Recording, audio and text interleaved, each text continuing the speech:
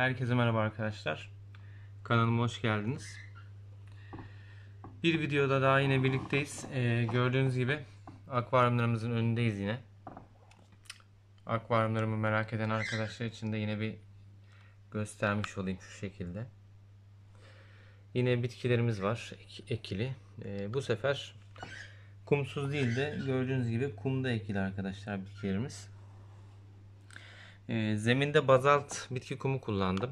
E, onun altına herhangi bir şey kullanmadım. Torf, torf toprak veya işte e, misket gübre gibi. Çünkü sürekli bir bitki sirkülasyonu olduğu için gerek duymadım. E, ışıklandırma olarak da e, 1 metrelik akvaryumun üzerindeki ışıklandırmayı şöyle göstereyim. Bu iki 47 santimlik akvaryumu yan yana koyarak bunu bunların üzerine monteledim. Gördüğünüz gibi. E, bu şekilde yapmamın sebebine geleceğim birazdan. Şöyle detaylı olarak bir göstereyim size. E, bitkilerimde ön tarafta bakopalar var. Yan tarafında water rostlar var. Arka tarafta tütünlerim var. Şöyle göstereyim. Ee, bu tarafta da Pogostemonlarım, Myropriumlarım, Mattogrossenseler. Arkada Australislerim var. Gördüğünüz gibi e, iki akvaryumu yan yana koyarak şöyle uzaktan da bir çekim göstereyim. Üzerine e, 1 metrelik Paulet armatürü monteledim. Şu şekilde oturttum arkadaşlar. Herhangi bir aparat veya parça kullanmadım. Ek parça kullanmadım.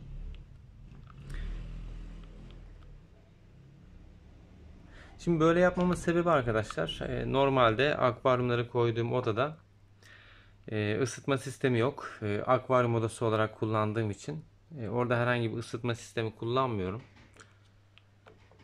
Büyük akvaryumları da ısıtmak biraz zor oluyor. O yüzden onların biraz daha yüksekliği farklı olduğu için bu akvaryumlardan 1 e, metrelik akvaryumlarımı e, yaz mevsimine en azından ilkbahar mevsimine kadar rafa kaldırdım şu anlık. E, bu iki tane 47 santimlik akvaryumu kullanacağım. Bir tane daha var bunlardan. Onlarda o akvaryumda da balıklarım var. Bu akvaryumların yüksekliği 27 santim. Diğer 1000 metreliklerin yüksekliği 40 santim arkadaşlar. Yüksekliği 27 santim olan akvaryumlarda sadece şu akvaryumda 24 wattlık bir power led denemiştim.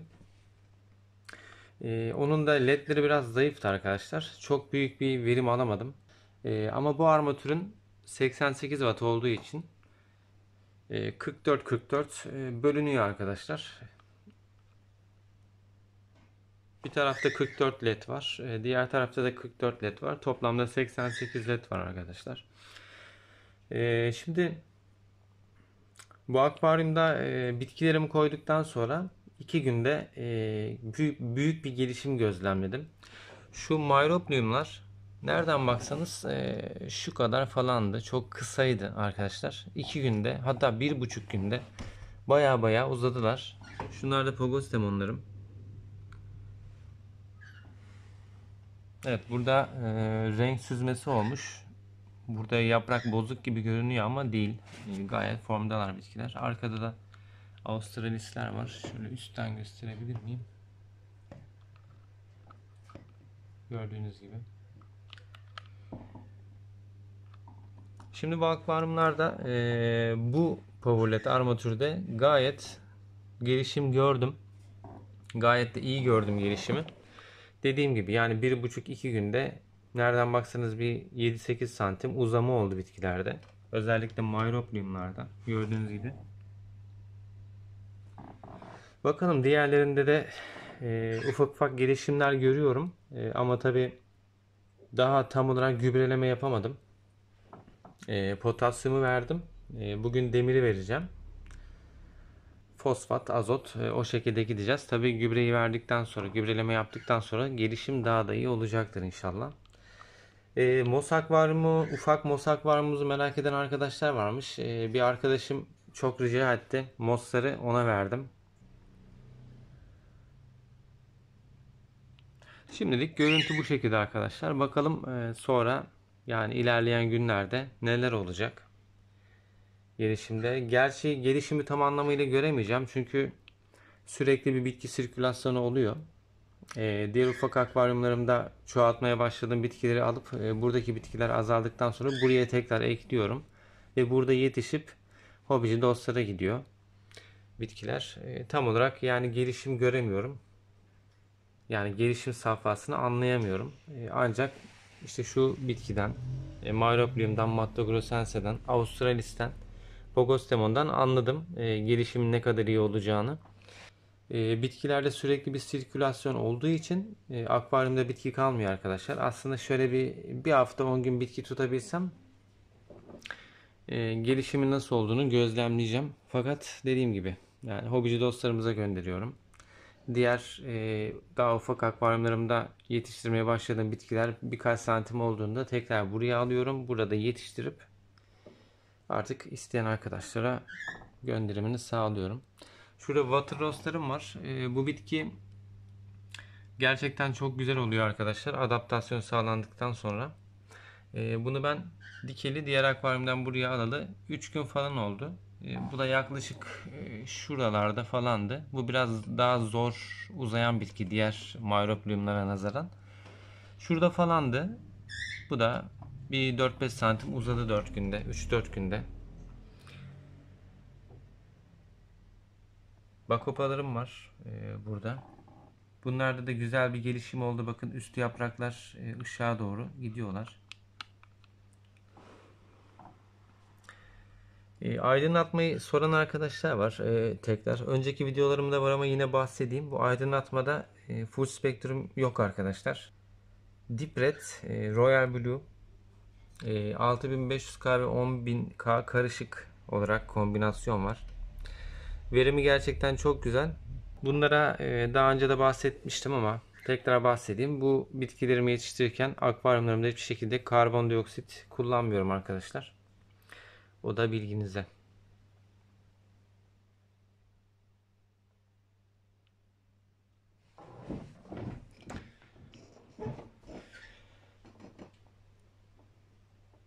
Şimdi ışıklandırmayı akvaryumların üzerine nasıl e, montelediğimi göstereyim. Herhangi bir parça, alet, edevat kullanmadım. Gördüğünüz gibi zaten akvaryumun e, ar, diğer 1 metre akvaryumun armatürüydü bu. E, 1 metrelik armatür. E, bu iki akvaryumu birleştirdiğim zaman 94 gibi 94 santim gibi bir uzunluk çıkıyor. Şöyle şuradan da göstereyim. E, kenarlardan bir iki, ikişer santim kaldı arkadaşlar. 2-3'er santim. Ben de bunu böyle bu şekilde oturttum akvaryumun üzerine. Gayet de güzel oldu. Işığı aslında yeni açtım ışıklandırmayı. Ee, yoksa normalde gayet güzel fotosentez oluyor. Tabi şu an bitkiler bayağı uzun. Fotosentez olsa da biraz zor görünüyor kamerada.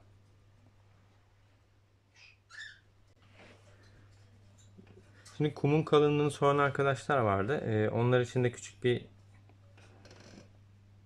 örnek göstereceğim kendi akvaryumumdan. Şimdi kumun kalınlığını ne kadar fazla yaparsanız bitkileriniz için o kadar iyi olur arkadaşlar. Çünkü bitkinin bir kök salma işlemi için e, hacimli bir kuma ihtiyacı var. Şöyle göstereyim hemen. Benim kumum gördüğünüz gibi 3 parmak. Diğer akvaryumda da bu şekilde.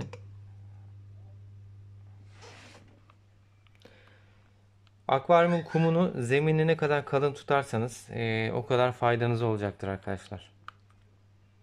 Şimdi e, torf bitki toprağını akvaryuma nasıl monte etmesi gerek gerektiğini soran arkadaşlar var. Onlar için de şöyle küçük basitçe göstereyim. Yani anlatarak göstereyim. Şu an elimde boş akvaryum olmadığı için uygulamalı olarak gösteremeyeceğim. Şimdi bu kumu koydunuz ya arkadaşlar. Bu kumu koymadan önce torf toprağı zemine tamamen seriyorsunuz. Boydan boya her tarafına. Enine boyuna. Ondan sonra e, normal bildiğimiz sineklik teli akvaryumun ölçülerine göre kesip sineklik teli kenarlardan e, açık alan kalmayacak şekilde torf bitki toprağın üzerine seriyorsunuz. E, onun üzerine de 6-7 hatta 8 santim kalınlığında kumu monteliyorsunuz arkadaşlar. Kumu zemine bırakıyorsunuz. E, alttaki torf toprağın hiçbir şekilde e, yukarıyla yani suyla temas etmemesi gerekiyor ilk suyu doldurduğunuzda. Tabii ilk kurulumlarda e, ister istemez suda bir renk değişimi, bulanıklık olacaktır arkadaşlar. E, panik yapmayın. Zaten filtre sisteminiz e, suyu arıtacaktır, temizleyecektir. E, filtre süngerinizi haftanın iki günü e, yani su berraklaşana kadar temizleyebilirsiniz. Onun dışında haftalık su değişimlerini ihmal etmezseniz ikinci haftaya zaten su kendine gelecektir. Hiçbir şekilde sıkıntı olmaz. E, ben denedim daha önce. E, denediğim için tecrübemden kaynaklı yola çıkarak konuşuyorum. Şimdi torf toprağın faydalarına gelirsek şöyle söyleyeyim arkadaşlar. Normal zemine diyelim ki subulata diktiniz, subulata bitkisi diktiniz veya zemin bitkisi diktiniz. Şimdi normal bir akvaryumla torf bitki toprağı kullanılmış akvaryumu yan yana koyun. Subulataları dikin. Işıkları da aynı ışık olsun. E, subulataların torf e, bulunan akvaryumda nasıl zemine yayıldığını göreceksiniz arkadaşlar. Gerçekten çok büyük bir faydası var. Şöyle tekrar göstereyim. Akvaryumlarımın son halini sizlerle paylaşmak istedim arkadaşlar. Kullandığım ışığı ve e, şöyle bir dizayn yaptım. Bunu da sizle paylaşmak istedim. Videomu izlediğiniz için çok teşekkür ederim arkadaşlar. Bir sonraki videolarda inşallah görüşmek üzere. Kendinize iyi bakın. Herkese iyi hobiler dilerim. Sağlıcakla kalın.